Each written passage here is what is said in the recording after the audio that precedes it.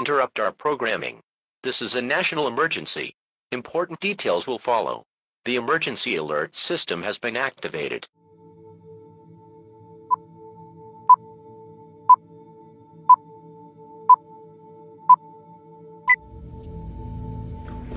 Ladies and gentlemen, the very word secrecy is repugnant in a free and open society. We decided long ago that the dangers of excessive and unwarranted concealment of pertinent facts far outweighed the dangers which are cited to justify it. But I am asking your help in the tremendous task of informing and alerting the American people. For I have complete confidence in the response and dedication of our citizens whenever they are fully informed. Many rivers and the air in many cities remain badly polluted, and our citizens suffer from breathing that air. We lived with conditions like these for many, many years, but much that we once accepted as inevitable, we now find absolutely intolerable. Each of us all across this great land has a stake in maintaining and improving environmental quality, clean air and clean water, the wise use of our land, the protection of wildlife and natural beauty, parks for all to enjoy. These are part of the birthright of every American. To guarantee that birthright, we must act, and act decisively. It is literally now or never. Our program will emphasize conservation. The amount of energy being wasted, which could be saved, is greater than the total energy that we are importing from foreign countries. We will also stress development of our rich coal reserves in an environmentally sound way. Now, it seems to me that if we would concentrate on resolving the problems uh, of the automobile, the combustion engine, the, uh, the pollution factor, and we've gone a long way in that. Uh, I think of myself as an environmentalist. I, uh, I don't want to see all this beauty around us uh, wiped out or destroyed. We all know that human activities are changing the atmosphere in unexpected and in unprecedented ways. I recommend that we adopt a BTU tax on the heat content of energy as the best way to provide us with revenue to lower the deficit because it also combats pollution, promotes energy efficiency, promotes the independence economically of this country, as well as helping to reduce the debt. And it is environmentally responsible. It will help us in the future as well as in the present with the deficit. The United States is committed to strengthening our energy security and confronting global climate change. And the best way to meet these goals is for America to continue leading the way toward the development of cleaner and more energy efficient technology. We've got to leave this planet at least as good as the planet we inherited from our parents,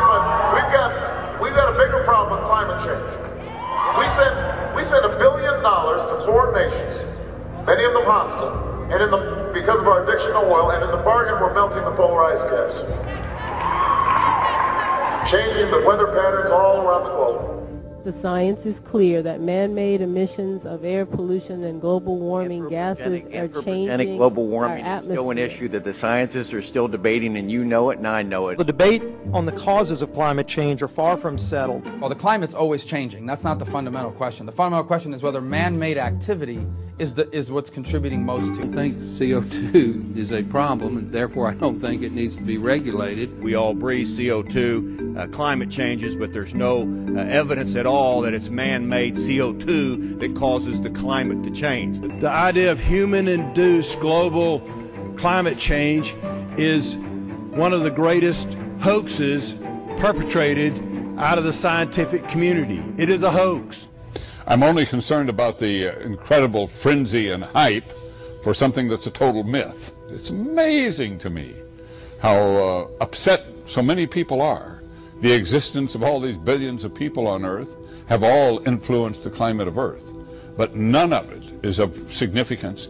Uh, and thank goodness, things are doing just fine. The question is the degree to which man influences the climate and whether actually we can we can this is anything we should worry about and, and whether we should be bombing the global economy into the dark ages to try and stop it. Sure, you know, the greatest hoax I think has been around uh, in, in, many, many years, if not hundreds of years, has been this uh, hoax on the environment and global warming. You notice they don't call it global warming no, anymore. No, no, no, It's because it's, it's getting it's, cooler. It's weather control. Yeah, it's yeah. getting cooler. You can't so, call it global uh, warming anymore. So what we need, what the world needs, is more fossil fuels. The evidence we have is not just that fossil fuels aren't ruining our planet, they're making it much better climate related deaths are going down. And so, what we need is many, many more fossil fuels so that people can eat and they can have food.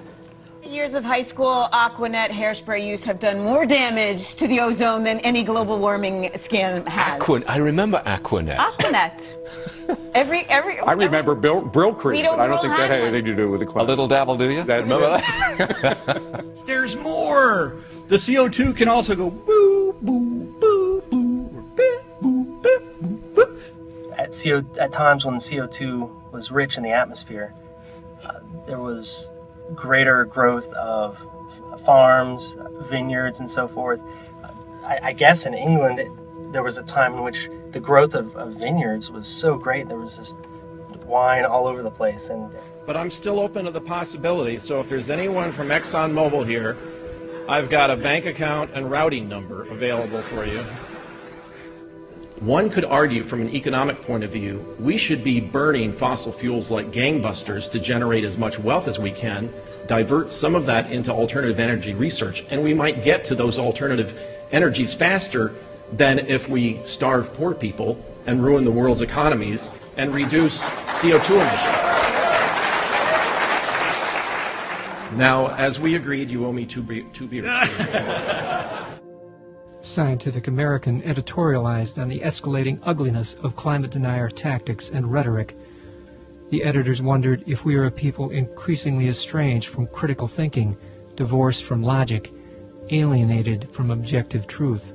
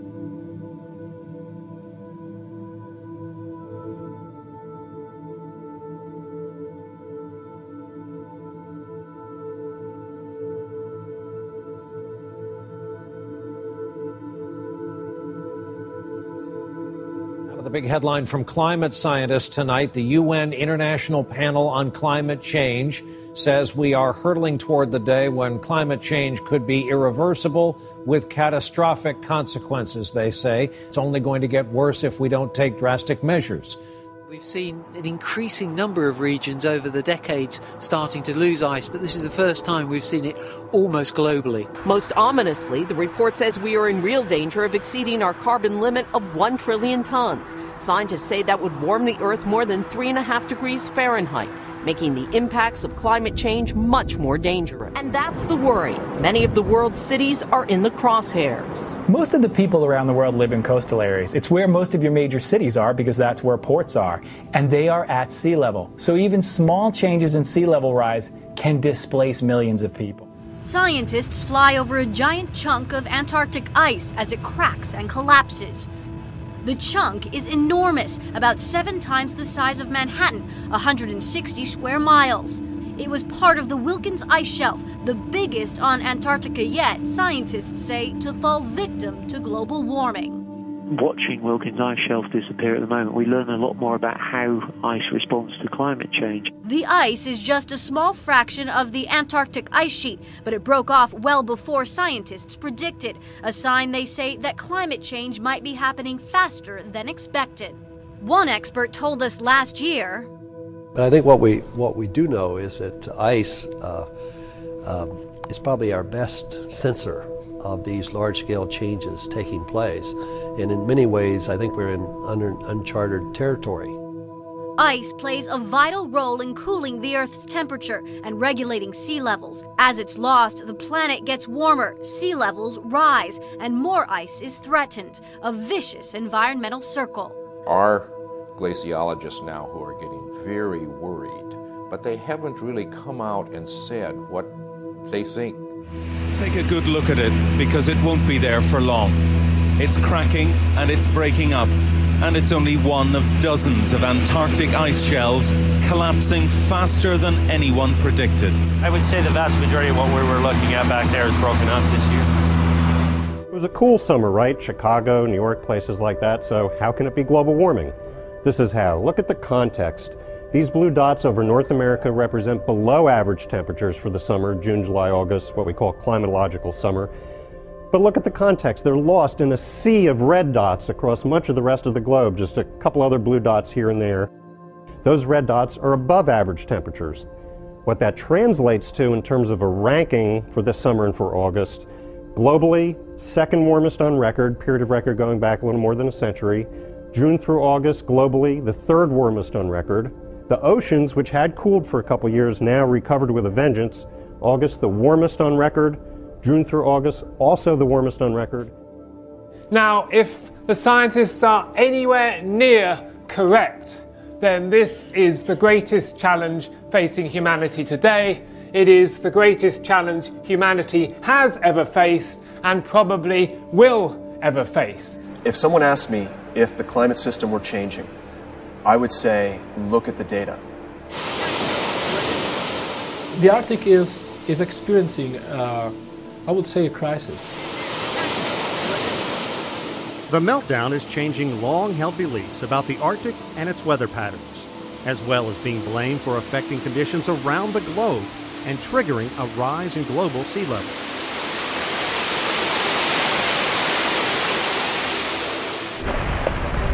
From all these collective uh, studies of the whole Arctic region, you can see that it's warming much faster than the rest of the, of the planet. In 2012, we had a new record set in terms of melting over the Greenland ice sheet. But here, amid this snow and ice, it's hard to believe that the ice sheet is melting as fast as scientists say. But it is. Scientists say we are watching the polar regions melt right before our eyes. Tell there's a stream here, and then there's a bunch of flow coming down on this right side. Interpreting the info that comes from satellites called the Gravity Recovery and Climate Experiment. In science circles, it's called GRACE. GRACE can detect the most subtle, minute changes in land ice, down to the width of a human hair.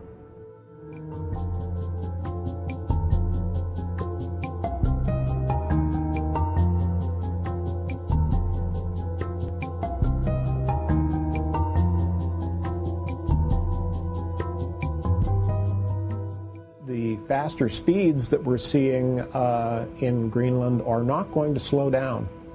That's not the way uh, ice sheets behave.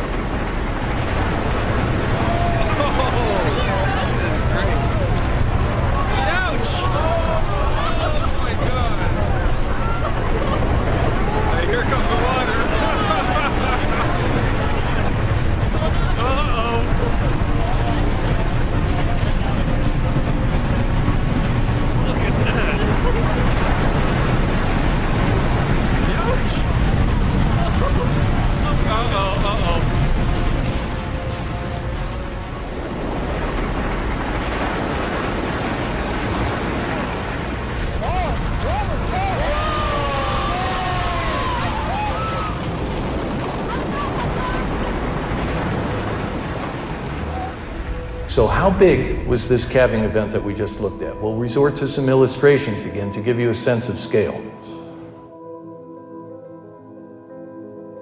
It's as if the entire lower tip of Manhattan broke off, except that the thickness, the height of it, is equivalent to buildings that are two and a half or three times higher than they are.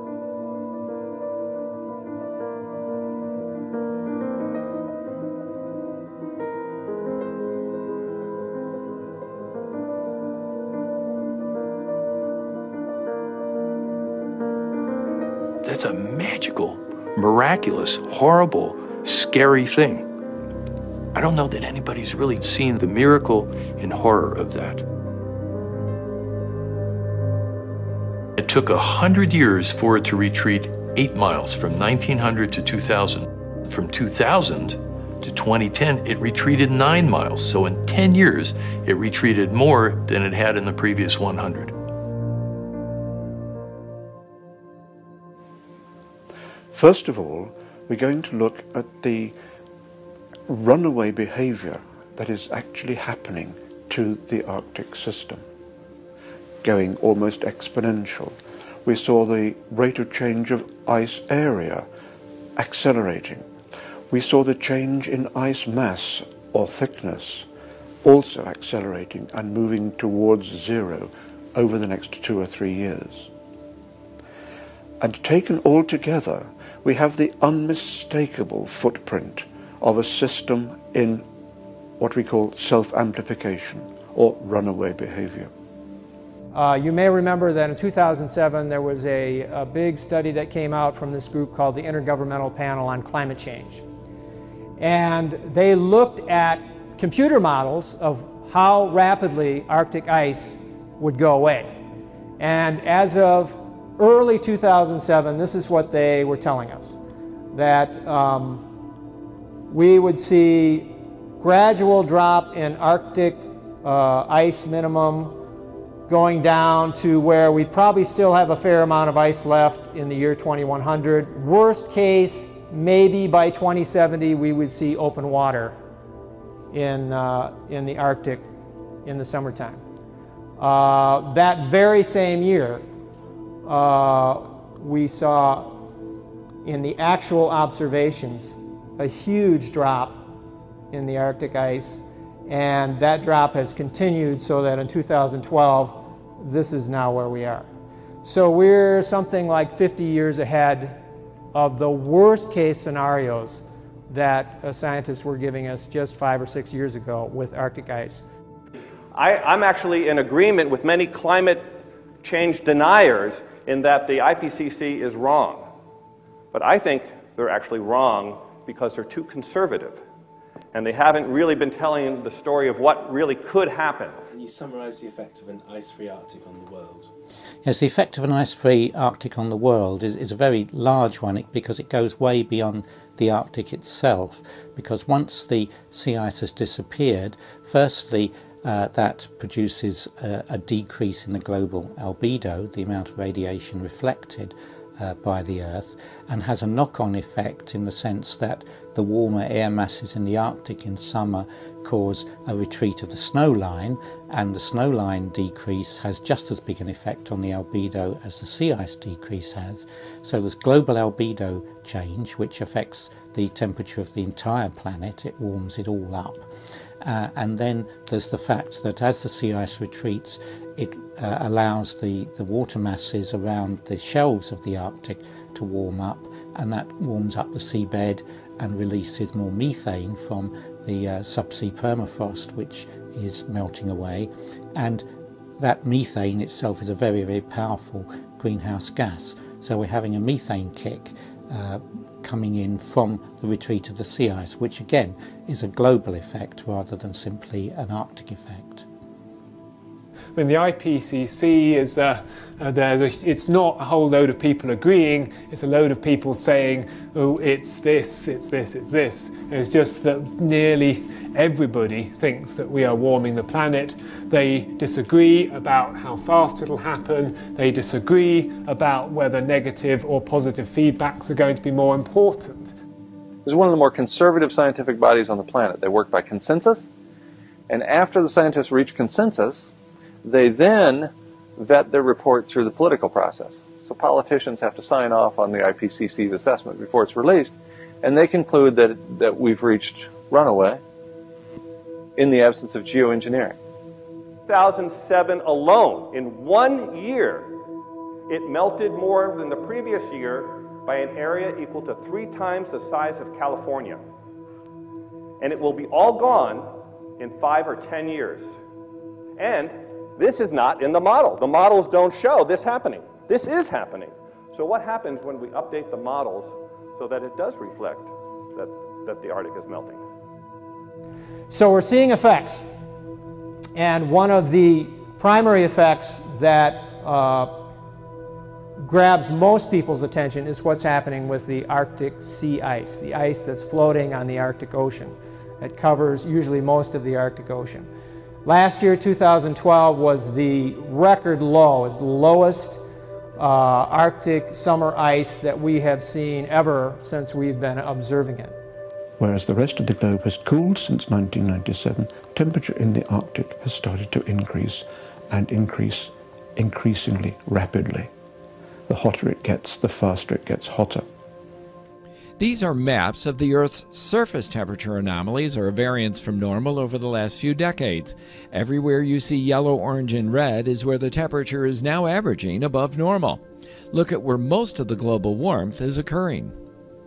It's pretty clear from the, the death spiral, that's the way in which the, the volumes of ice in the summer are zeroing in towards uh, towards zero, that um, the ice can't last more than a couple more years. There's no way that ice mass at the end of September can continue going round this circle for the next five decades. It's moving very rapidly into the zero point in the center. It's been decreasing for several decades. In fact, way back into the 1960s and 70s, we, we have a trend pattern of decreasing area of sea ice particularly at its minimum, and minimum sea ice occurs in September, at the end of the summer warming. But do have a look at the last few years, from 2007 onwards, the data points have been pulling way down below the straight line. And it becomes more and more obvious that straight line representations are no longer the appropriate statistical tool for demonstrating what is going on in the Arctic then we see it looks like the end of the Arctic sea ice area in September by about 2015. So we're seeing a temperature rise. This is the NASA temperature graph of uh, going back to 1880 when we feel we have good global coverage with instruments. We can take it back much further. In fact, a very significant paper came out just this past spring which looked at a number of different uh, temperature proxies, as we call them, like tree rings and corals and uh, stalactites and caves and things like that. And we push back the temperature record 11,000 years. And what you've got is this uh, you've got us coming out of the ice age back here, and then we've got a slow, slow, slow, gradual, gradual decline until the last century. And then this is us here. So uh, we're, we're, we're pretty clear that, that uh, uh, something's changed in the last uh, 200 years, and the only thing that we've been able to track down that really uh, answers it is the, the uh, greenhouse gases that human beings have been putting out. What's going on in the Arctic area at the moment is probably the fastest moving response to global warming and climate change anywhere on the planet. Uh, one degree is bad. Two degrees is very bad. Three degrees is biblical. The Amazon turns to desert. Four degrees is sort of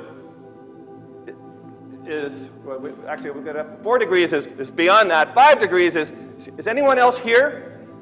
And six degrees is silence. The human trigger is now almost irrelevant. The feedbacks have taken over. In 1859, the English physicist John Tyndall, using equipment of his own design, showed that certain gases in the atmosphere blocked and absorbed long wave or heat radiation. Four decades later, Svante Arrhenius, with thousands of manual calculations, made an estimate of the global warming power of CO2 that was very close to today's best models. In the 1950s, American Charles Keeling began to measure accurately the steady increase of CO2 in the atmosphere. Spectrographic analysis soon showed that the new carbon was, without a doubt, man made. So it's a rare gas. The atmosphere is almost all nitrogen and oxygen. But you see here that out of a million molecules of air in 1958, about 314 of them would be carbon dioxide uh, molecules. And you see uh, the, the graph there at the lower left uh, tracing the first few years. So you can see a lot of things on this graph just right away. First of all, it's increasing with time. And here's what the Keeling curve, which is the popular name for this, looks like today. And you can see that what was 314 then is now 395 or so, pushing 400 uh, today. That's a remarkable uh, story uh, right there, because that increase is something like 25%. Uh, Mankind is changing the chemical composition of the atmosphere in important ways. And the greenhouse effect had been understood for a long time. The fact that carbon dioxide and other molecules uh, trap infrared energy, they trap heat essentially, had been known to experimental physicists in the middle 1800s. John Tyndall in London put carbon dioxide in a tube and uh, measured how it could absorb infrared energy, which he, he could shine on it. And uh, the first attempts to, to understand the implications of this for climate date back uh, to the 1890s. Uh, so in a sense, the science was there uh, connecting carbon dioxide amounts in the atmosphere to climate change until we had the measurement showing that the CO2 was actually increasing and increasing much more quickly than had been foreseen in the 19th century. There were more people using more coal and oil and natural gas, and the uh, rapidity of the growth of CO2 was a surprise uh, to everyone. Uh, Popular Mechanics magazine wrote about this in 1953. The, the products of this research were showing us that uh, if we continue to add carbon dioxide to the atmosphere by burning fossil fuels, we're going to see a rise in temperature. This was uh, the work of Dr. Gilbert Plass, who, was, uh, who published a very significant paper on this. This had been uh, an issue that had been kind of kicked around for the previous uh, hundred years or so, but it was this research that really kind of uh, really kind of nailed it insofar as as making the science clear. And uh, yet it's taken us this long to really uh, even begin to get through to the public dialogue of how important this is. And the amount of carbon dioxide in the atmosphere is what matters to the climate. Climate just reacts to how many of what kinds of heat trapping gases are there. The more there are of an important gas like CO2, which is by far the most important man-made gas, uh, the warmer it gets. Now, on this graph is temperature and carbon dioxide. And let's look at the black line first. That's carbon dioxide, 1880 on the left, the present on the right. And so we know that it was rising gradually before Keeling's measurements began, and that in the times be before the 1800s, uh, when human activities presumably had no strong effect on climate, it uh, was near a value of 280 in these same units of molecules per million molecules. So CO2 has been rising, but uh, in all the years before uh, the 1930s, you might say, every year was below that average, and in recent years, every year's been above it. Again, the natural variability is due to factors like El Nino and the occasional strong volcano, which temporarily cools the climate for a year or two. And uh, so these things here are some of the strongest El Ninos uh, on record. But that there's a warming now and that this is, period is different from this period isn't any doubt at all. So the question that people typically ask is, how do we know this isn't just some kind of a normal cycle? Okay, it's getting warmer, but it's been warmer in the past, it's been colder in the past. Uh, how do we know that this is, this is different from the past? Well, we can measure what's coming into and out of the planet by satellite. And the satellites do a pretty good job of this. We know that the planet is in energy imbalance. Um, we know that that energy imbalance uh, uh, is completely consistent with the predictions that have been made about greenhouse gases. And we know that that's quite a big energy imbalance. Uh, it's not small. In fact, it's equal to about 400,000 uh, Hiroshima nuclear bombs exploding every day. That's about four or five every second or so. That's how much energy is being trapped primarily in the ocean because the ocean is the biggest heat sink by far. From uh, here you are in the early 1900s till today, blue is cooler than average and yellow and orange are warmer than average. And you can see here it's still uh, some blue areas and so on, but starting in the 1970s, uh, you start to see the yellow and orange colors predominating. And uh, by the time this uh, ends, at 2010 or so, you can see what the world looks like today uh, in this picture. There's warming everywhere. There's more warming over the continents than over the oceans. There's more warming in the north than in the south. And there's the strongest warming in the Arctic. This is a Mercator projection, so it exaggerates the area of the Arctic, but the warming is strongest in high northern latitudes.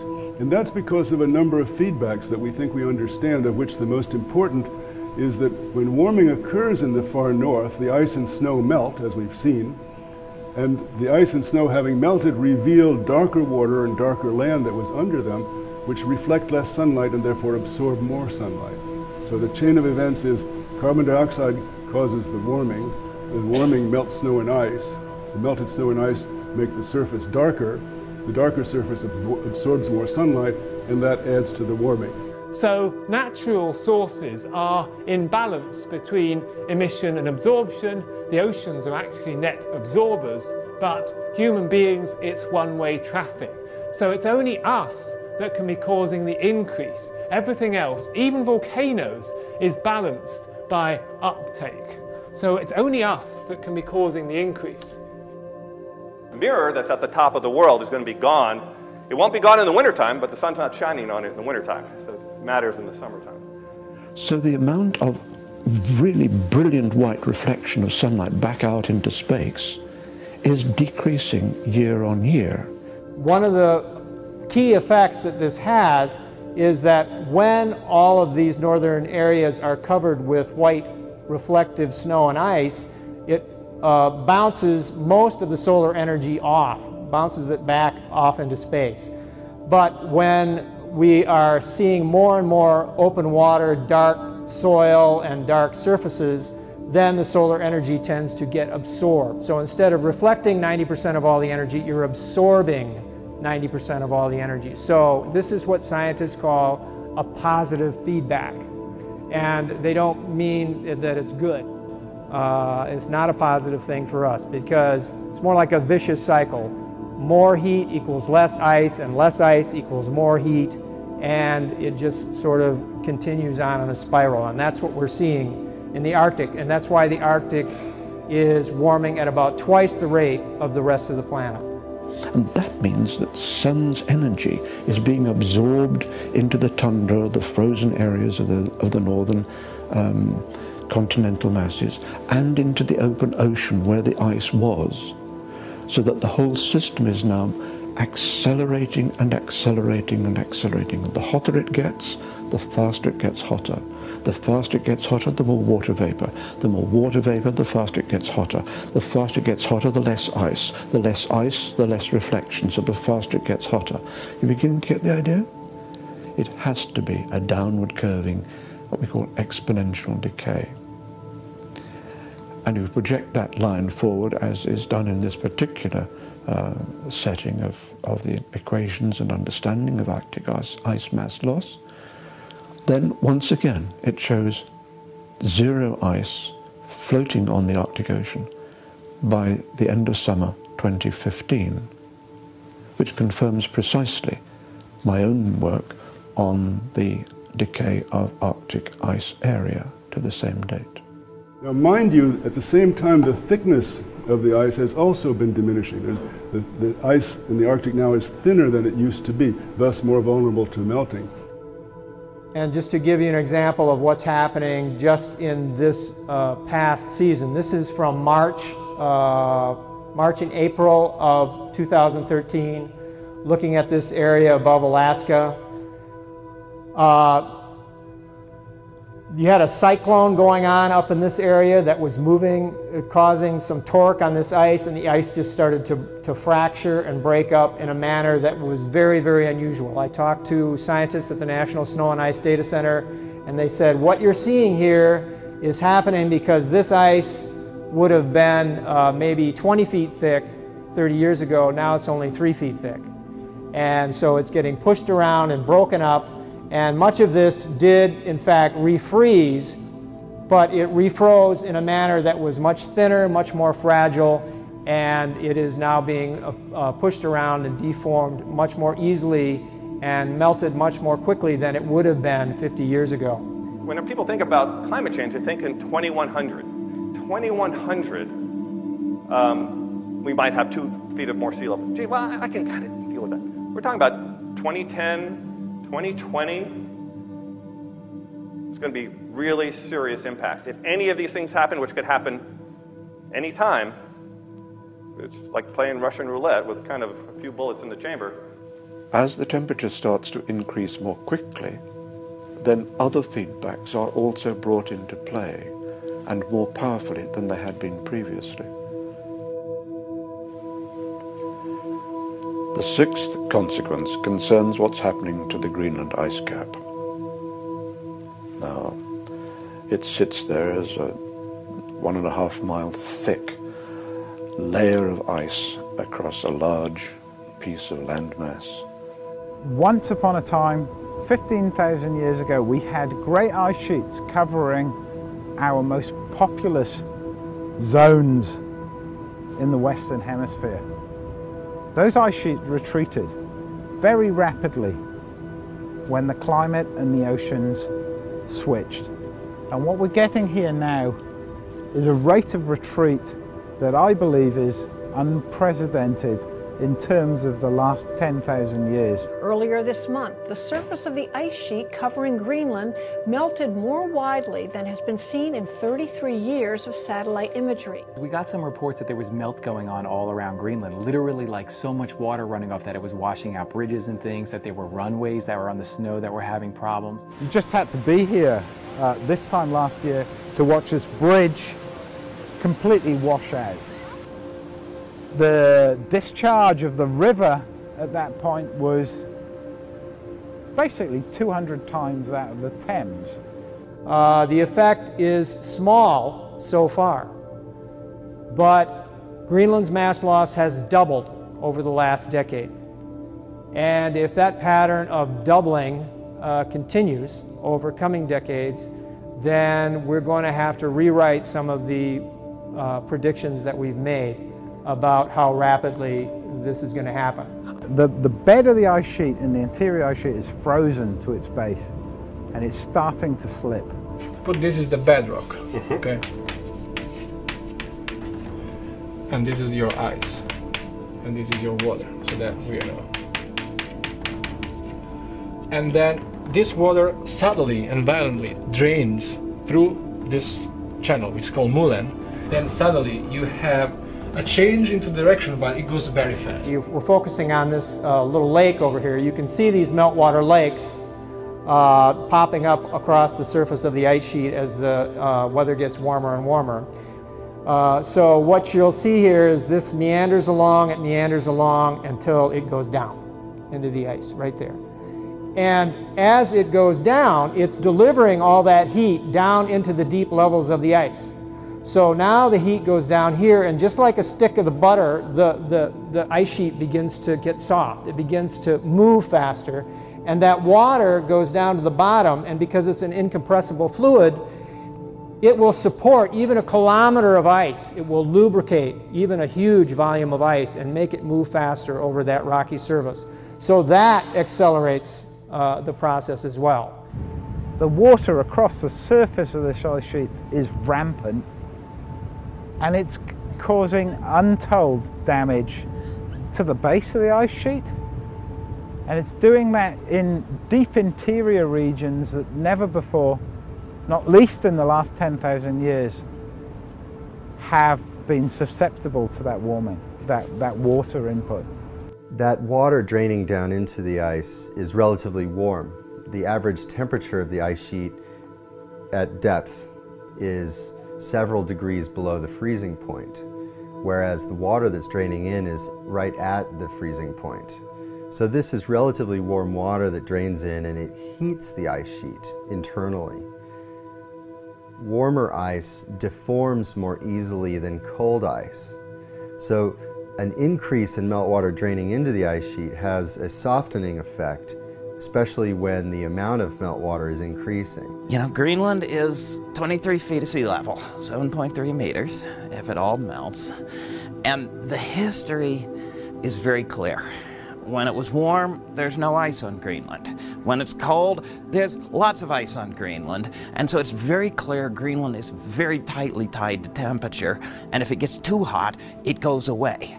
And too hot is not very many degrees above where we are now. And this is the Ilulissat Glacier. This is the calving front of Ilulissat Glacier that we flew along on the first day. Uh, this is the fastest moving ice stream in the world. It's 400 feet high. The water is coming down under the ice and squirting out down here below the water line like a jacuzzi. And it's creating circulation down here and it's drawing warm ocean water in underneath the water line here to, and it makes it accelerate the calving off of the giant glaciers. And this whole bay here is just full of gigantic glaciers.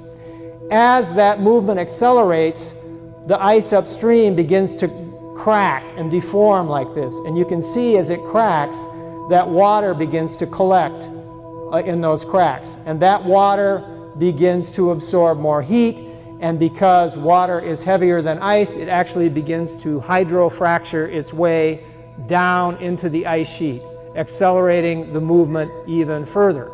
So what you're, what you're seeing is that at every stage there is a, a different kind of a process that not only feeds on itself, but feeds into all the other processes in the cycle uh, in, in, on the ice sheet, if you want to know what, what's happening, you need to just follow the water and, and see what it's telling you. And this is the story that it's telling us. And this is why scientists uh, are starting to feel that Greenland uh, and, and, and uh, ice sheets across the planet have the capacity to move much faster uh, than what they have uh, in, during, human, during human experience. So the, the big concern is that we don't tip ourselves into some kind of an event like that where the ice sheets begin to move at a pace that is really beyond human capacity to, to keep up with.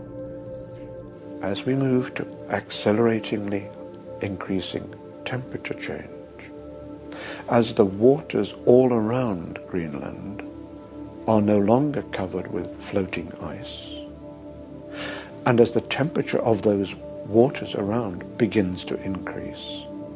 So, so of course, the air over Greenland is hotter.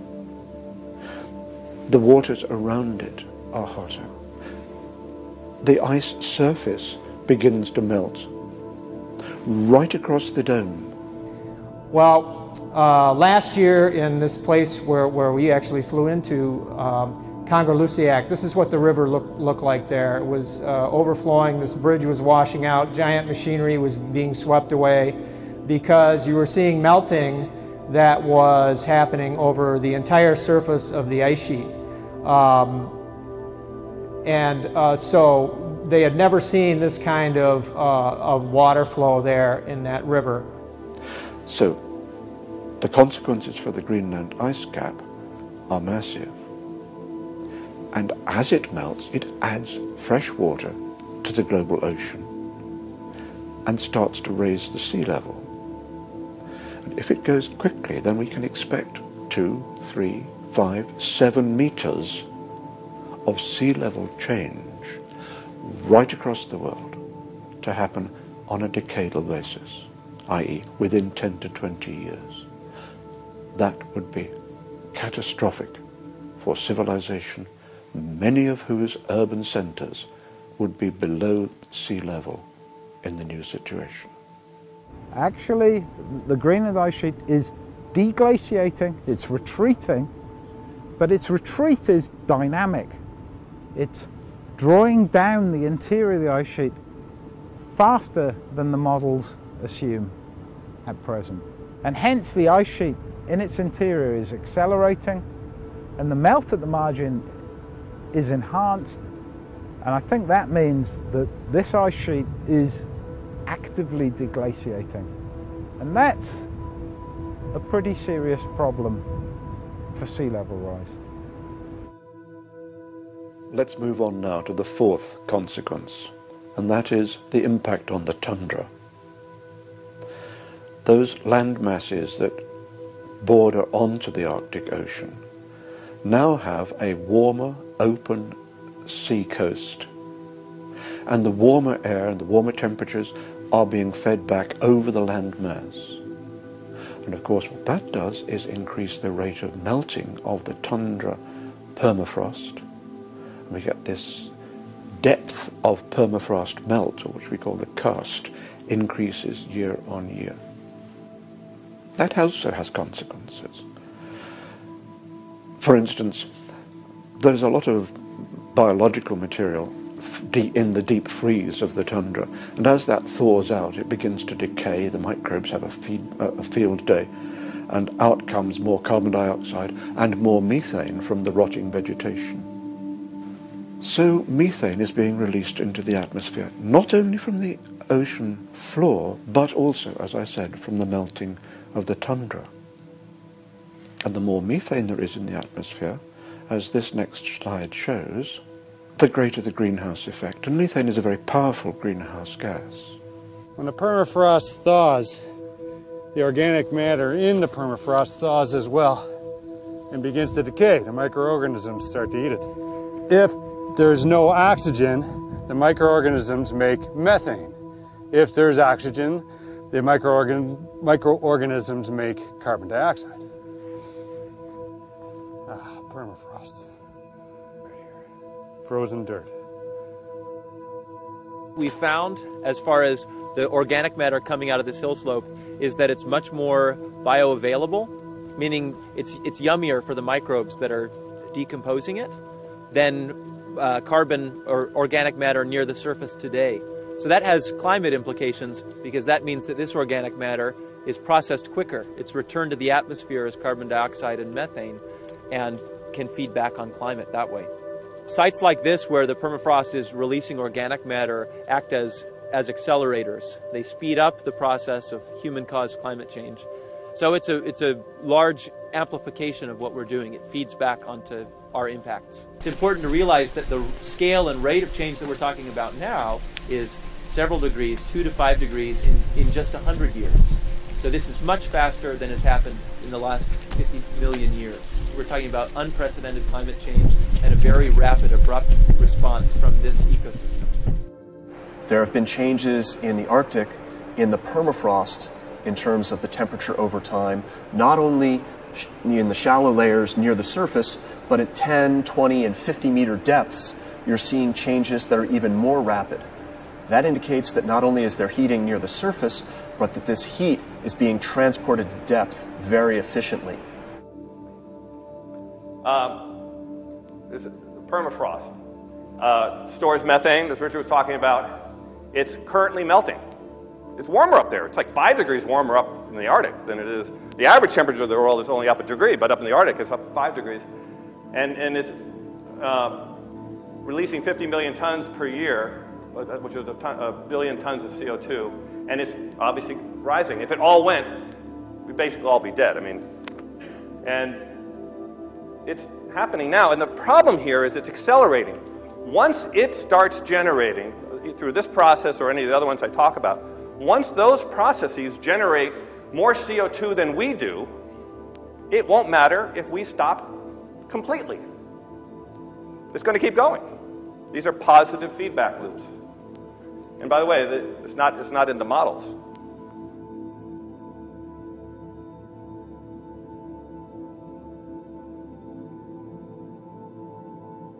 The fifth implication of the Arctic dynamics concerns the feedback of the methane release. It is probably one of the most important issues that we have to, have to examine. We will be in danger of destabilizing these things called methane hydrates, which store a lot of methane at the bottom of the ocean in a kind of frozen form. 10,000 billion tons of the stuff. And they are known to be destabilized by warming. This chunk of ice may look pretty unremarkable at first glance, but put a match to it and something amazing happens. As reported in this month's issue of The Atlantic, it's called methane hydrate, and it's actually not unusual at all.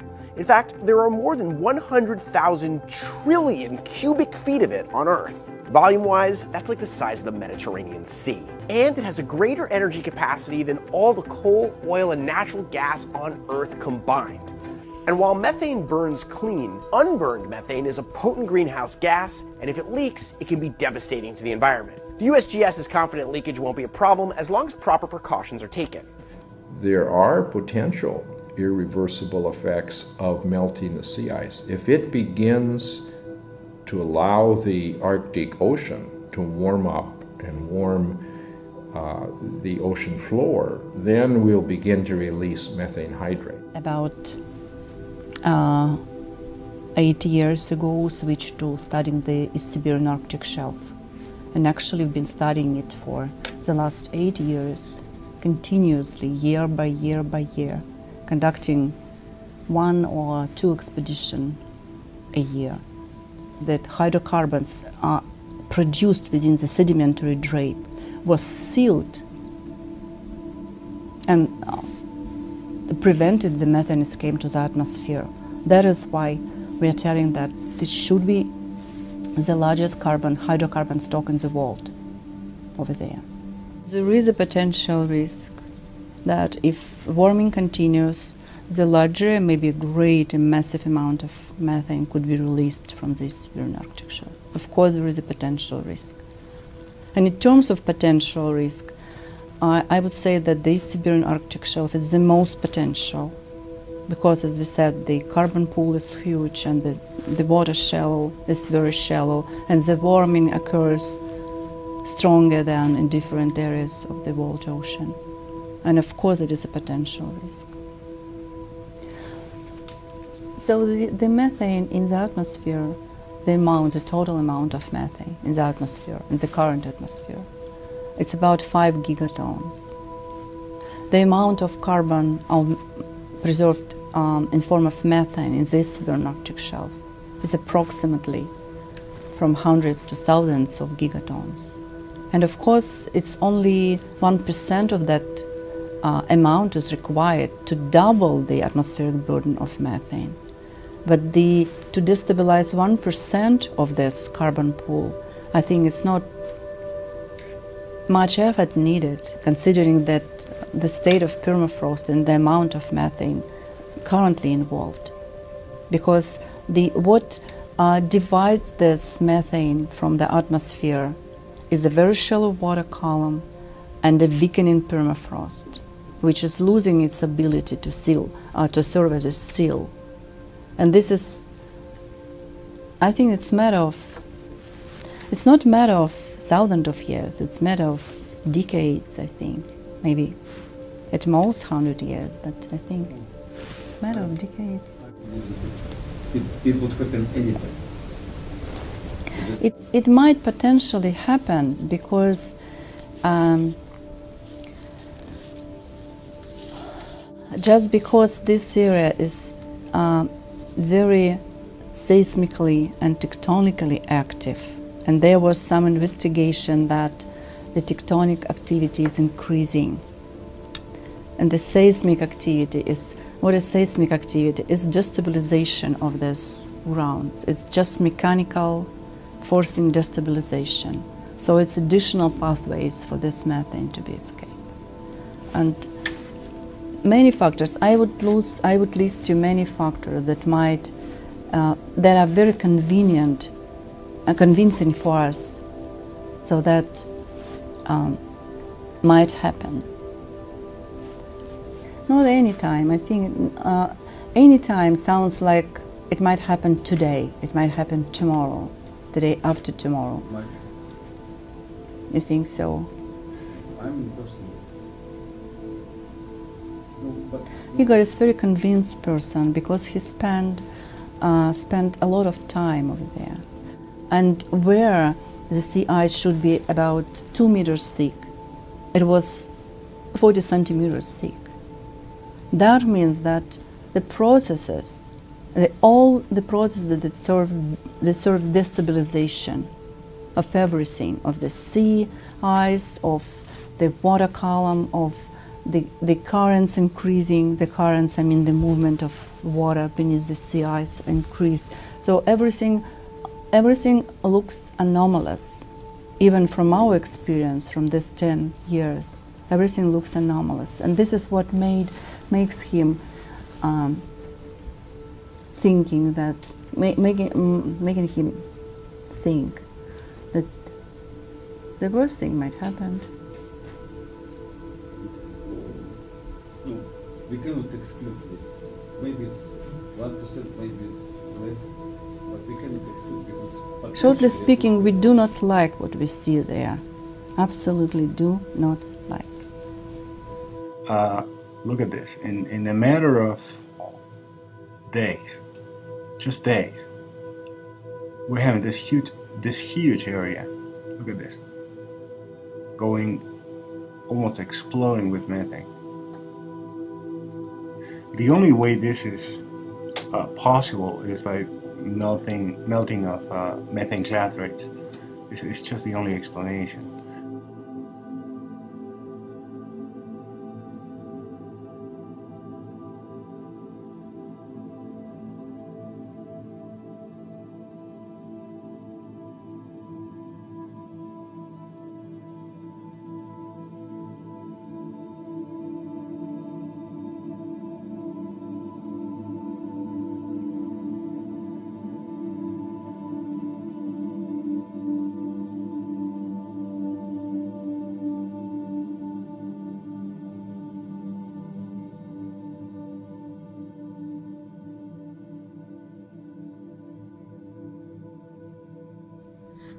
Um, how long do you think we have before it becomes socially and otherwise unacceptable to emit carbon? And I mean, how radically do you think we have to act consensually?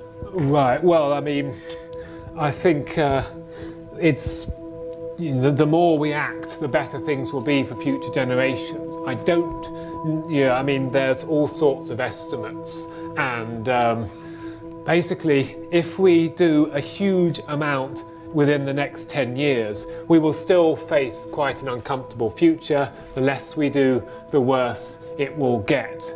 How much of it we can prevent depends on how bold we are, how much we're prepared to do, and that in turn is going to depend on changing social opinions. What are the implications of all this for global dynamic behavior, both in climate and indeed for humanity as a civilization and the biosphere of which we are a part?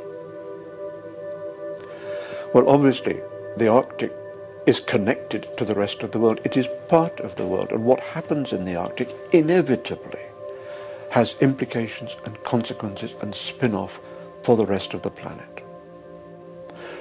Socially, we know we will be beginning to remove some of the aerosols, the particulates in the atmosphere that at the moment are reflecting much of the solar energy back into space. We also know that much energy is being taken up by heating of the deeper ocean at the moment.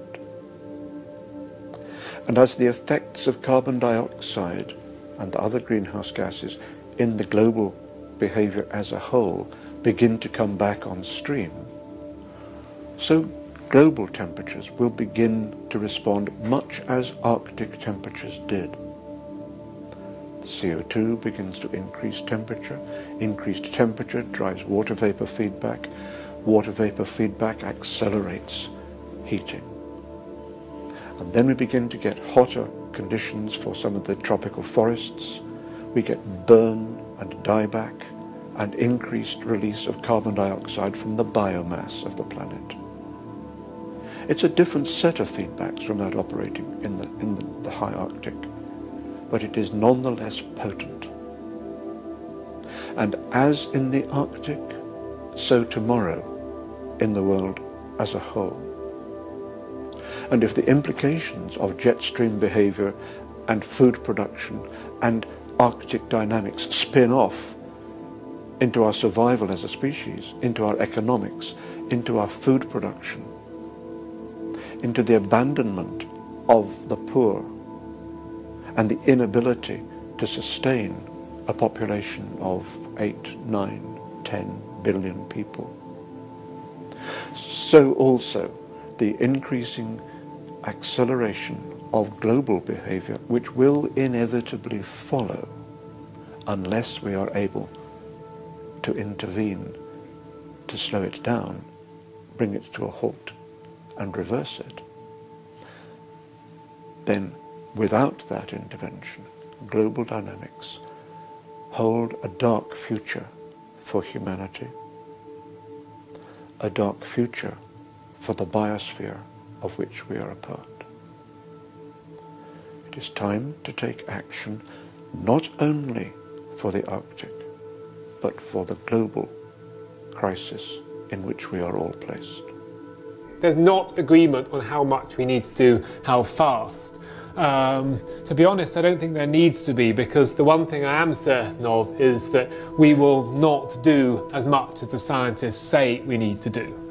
Um, that's why I've never sort of looked that closely at that particular question because what the scientists say we need to do is over here, what we're currently doing is way over here, and what various global agreements have tried to get us to do and often failed is somewhere over here. So the gulf is so enormous that um, I, yeah, I mean, it's a perfectly fair question, but that, for that reason, I've never really looked at it in that much detail. But I do believe that the more people believe this, that the more likely they are to act. So I suspect that there's also denial can operate on many levels.